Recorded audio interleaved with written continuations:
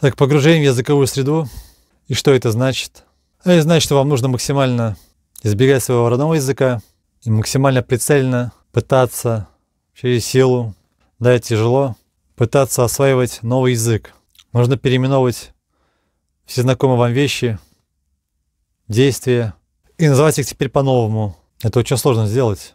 Себя каждый день заставлять учить, читать, писать, слушать, повторять многократно. Для этого нужна сильная мотивация, воля, без которой ничего не получится.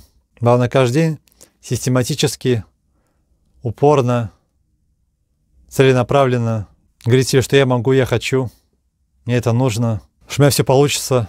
Ну, конечно, чтобы начать, нужно сдвинуться с мертвой точки. Не откладывать на завтра или послезавтра, на понедельник или Новый год. Взяли, открыли словарь, если он у вас есть. Начали учить слова. Есть куча материалов в интернете по категориям. Низкий уровень, средний уровень, высокий уровень. С помощью картинок, каких-то аудиофайлов, таких же других людей, которые уже прошли весь этот путь. Используя все возможное, чтобы достичь тех результатов, о которых вы мечтаете. Начните каждый день учить определенное количество слов.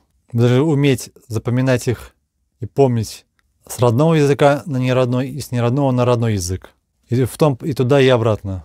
Можете их выписывать, ну, в ручном виде тренироваться, делать это. В печатном виде тоже это может делать. Можете сделать себе какую-нибудь папку на компьютере, найти определенный набор слов, которые используются в повседневной жизни, на те или иные темы, сферы, направления. Там выписали себе там 20 или 30 слов с переводом. Можете взять диктофон, например, в телефоне, записать с помощью своего голоса этот перевод. Сохраните этот файл, и потом в наушниках, дома, в любом месте, где вы бы ни были, куда бы вы ни пошли, включаете и слушаете как бы самого себя. Потому что не всегда есть возможность чисто только визуально читать текст или читать новые слова с переводом.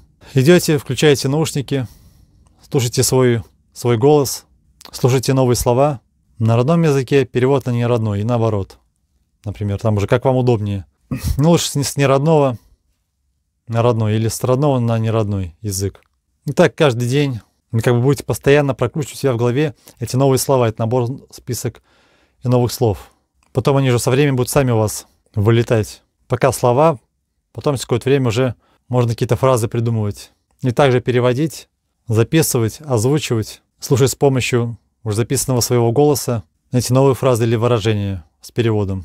Можно так учить, можно в текстовом виде учить, есть или на мониторе компьютера, телефона или планшета, или там на бумажке. Так, чередуя одно, одно с другим, у вас постоянно было не только перед глазами этот новый язык, который вы изучаете, но и с помощью ушей, чтобы вы слышали эти слова, эти звуки. Не бойся, что у вас будет акцент, какие-то ошибки там, может быть. Мы даже свой родной язык учили с помощью ошибок. Вы неправильно произносили, вы неправильно читали. До двух лет, до трех лет вы слушали, потом после трех лет уже начали постепенно повторять какие-то слова. Да, вы учили не с помощью текстов или каких-то аудиофайлов. Вашим единственным аудиофайлом это были ваши родители, которым каждый день повторяли одно и то же. Вы смотрели на них, открыв рот, и пытались произнести эти звуки. Вы смотрели, что они делают, вы как бы проводить такую некую параллель между действиями и этими звуками. И у вас постепенно начала складываться картинка о том, что это, этот звук, уже это слово потом, да, приобретает какой-то смысл, что оно уже что-то значит. И там постепенно, год за годом, вы начали говорить. Также говорили невнятно, также говорили как-то тем, может, ударением. Ведь речевой аппарат — это очень сложный механизм, ты можешь так сказать, механизм такой, как тренировка мышц, такая определенная нейромышечная связь, между которыми происходят электрические импульсы. Вот сначала ползали, а потом начали ходить. В принципе, то же самое.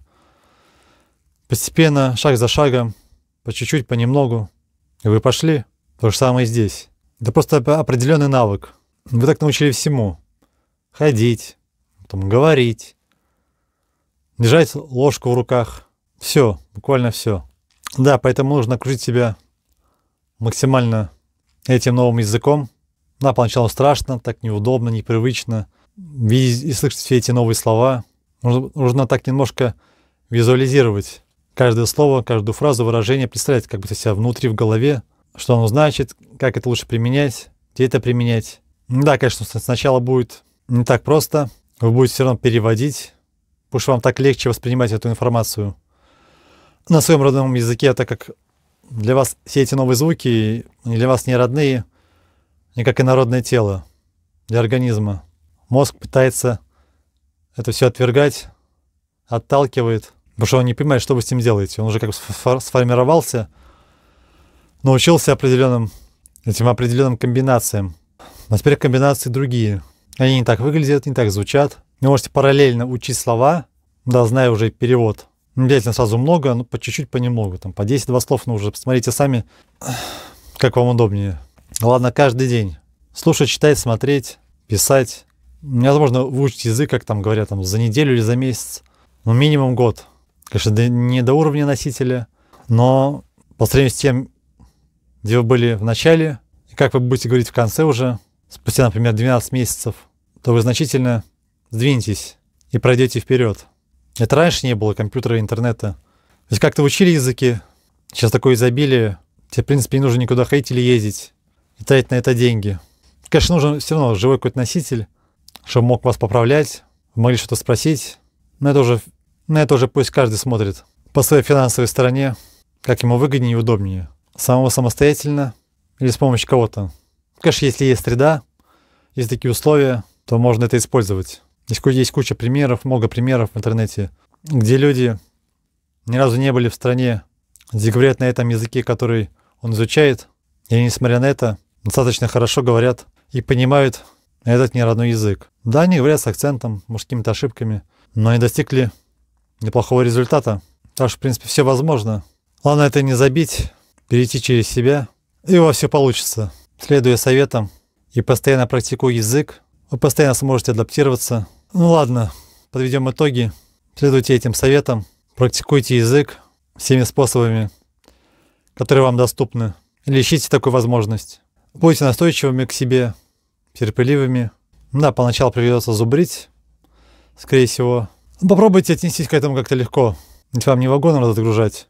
Или там в гору подниматься. Относитесь к этому как к какой-то игре, к себе как к персонажу в этой компьютерной игре, где вы прокачиваете этого персонажа, то есть себя. Постепенно проходите эти уровни, этапы, ну и в конце вас ждет награда, где вы научитесь совершенно свободно разговаривать, понимать. Потом посмотрите назад, скажете себе, что я красавчик, что это было достаточно интересно, увлекательно, познавательно. Уже будете знать принципы, у вас уже будет такая протоптанная дорожка, с помощью которой вы сможете не только изучать язык, но и делать, совершать любые вещи, которые вам помогут достичь любых результатов, заработать денег, жить свободно, красиво. Потом можете тоже будете кого-то учить. Ведь вы прошли уже такой сложный путь, поначалу был сложный, а в конце на финише вы захотите, возможно, повторить это снова и снова. Или с другим языком, или с любой другой деятельностью которую вы себе задумаете или задумали когда-то, но все так и не решались начать и реализовать. Ну ладно, вот такие были мысли у меня. Я рад, что поделился с вами. На этом все. Спасибо, что смотрели. И увидимся в следующем видео.